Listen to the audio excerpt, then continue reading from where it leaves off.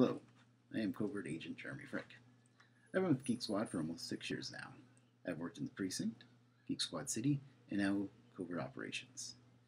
Covert Operations has been one of the more rewarding areas that I've worked in. I really enjoy being able to determine my own schedule, as this allows me to maximize the time spent with my family. I no longer have to worry about scheduling time off for school events, or medical appointments, or any other sort of surprise that pops up. I look forward to seeing what other endeavors that Covert Operations will enter into in the future.